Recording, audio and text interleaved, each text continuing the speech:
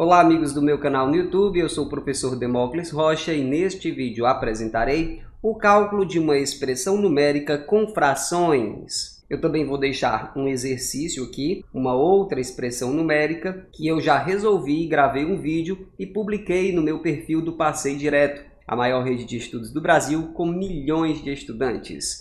Vamos lá, vamos começar a brincadeira. A gente tem aqui essa linda expressão numérica e nós desejamos calcular o seu valor. Como sempre, eu vou começar dando atenção para as expressões que aparecem mais internamente. Por exemplo, aqui eu tenho colchetes e dentro dos colchetes eu tenho esses parênteses e tenho essa adição de frações aqui. É ela que eu vou realizar primeiro. Acompanhe, eu vou fazer aqui no cantinho, depois eu coloco só o resultado lá. A gente tem 1 meio mais 5 sétimos como os termos dessas frações são pequenos, a gente pode fazer essa adição utilizando a técnica rápida. Acompanhe. Eu vou multiplicar 2 vezes 7, cujo resultado é 14. Eu escrevo bem aqui.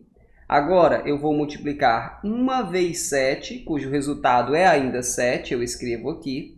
Estamos fazendo uma adição de frações. Meu próximo passo vai ser multiplicar 2 vezes 5, cujo resultado é 10. É isso que eu escrevo bem aqui. Ótimo! Agora eu vou repetir o denominador, que é 14, e 7 mais 10 é 17, é isso que eu escrevo bem aqui. Então, o nosso resultado de 1 meio mais 5 sétimos é 17 14avos, é isso que eu vou escrever no lugar desses parênteses aqui. Acompanhe. Aqui está. Agora eu vou repetir aqui o restante. Então, repetir tudo aqui até o 180 e agora eu vou parar um pouco porque eu vou resolver essa expressão que aparece dentro desses parênteses aqui. Se você tem alguma experiência com frações, você sabe que essa subtração de frações é muito fácil, porque as frações já têm denominadores iguais. Então basta repetir o denominador, que é 5, e fazer a continha com os numeradores. 16 menos 1 é igual a 15.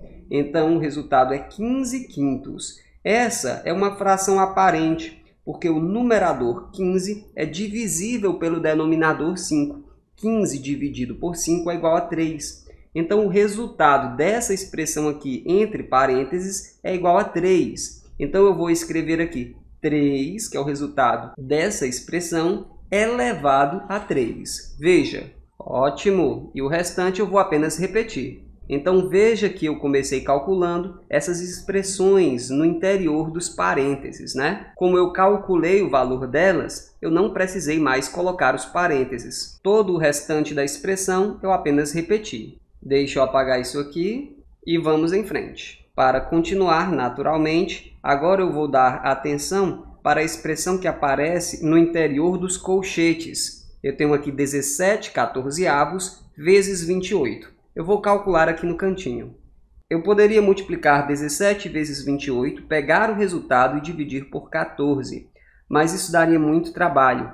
Fica mais fácil dividir 28 por 14. Perceba que 28 é o dobro de 14. Eu posso fazer isso. 28 dividido por 14 é igual a 2. Então, a única continha que eu preciso fazer é 17 vezes 2, cujo resultado é 34. Então, 17 14avos vezes 28 é igual a 34. É isso que eu vou escrever bem aqui. Como esse já é o resultado da expressão entre colchetes, eu não vou mais precisar escrever os colchetes. Acompanhe.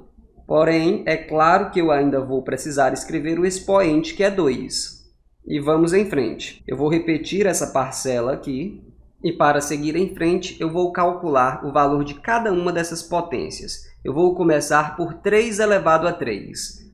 3 elevado a 3 corresponde a uma multiplicação com três fatores repetidos. É o mesmo que 3 vezes 3 vezes 3. Veja que 3 vezes 3 é 9 e 9 vezes 3 é igual a 27.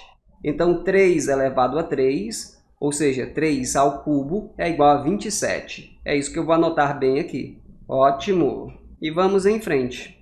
Meu próximo passo será calcular o valor dessa potência. Temos aqui 25 elevado a 2.